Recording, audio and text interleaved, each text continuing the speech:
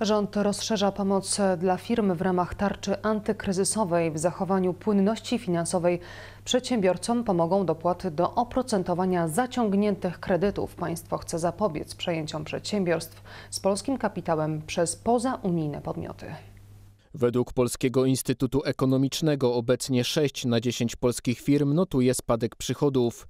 Rząd zapowiada, że polska gospodarka odmrożona zostanie w okolicach lipca.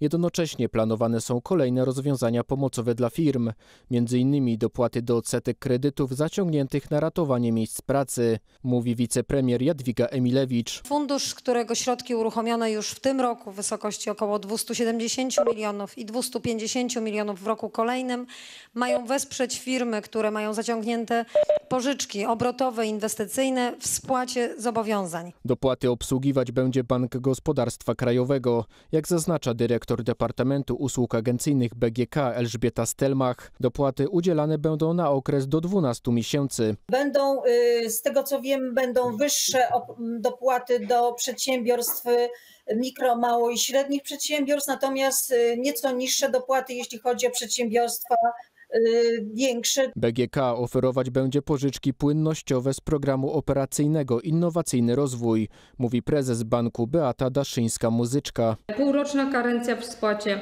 Kwota maksymalna, i tutaj tak jak Państwo widzą, nawet do 15 e, milionów. I również produkt udzielany przez e, pośredników Rząd chce zapobiec przejęciom polskich firm będących w trudnej sytuacji finansowej przez fundusze inwestycyjne spoza Unii Europejskiej. Wprowadzamy zatem rozwiązania, które sprawią, że przejmowanie tych firm będzie musiało być notyfikowane przez y, podmiot publiczny, w tym przypadku Urząd Ochrony Konkurencji i Konsumenta. Podobne rozwiązanie przyjęto w Niemczech, podkreśla prezes Związku Przedsiębiorców i Pracodawców Cezary Kaźmierczak. te obawy, jeżeli chodzi o Polskę, są mniejsze niż w Niemczech. Niemniej dobrze, że tego typu instrument y, jest tworzony. Jednak ten mechanizm nie dotyczy przejęcia polskich firm przez podmioty unijne. Firmy, które wykonują zadania w ramach zamówień publicznych, będą miały wydłużone terminy realizacji, jeśli powodem opóźnień był kryzys związany z pandemią. Wznowienie działalności Krajowej Izby Odwoławczej odblokuje postępowania zamrożone w czasie epidemii.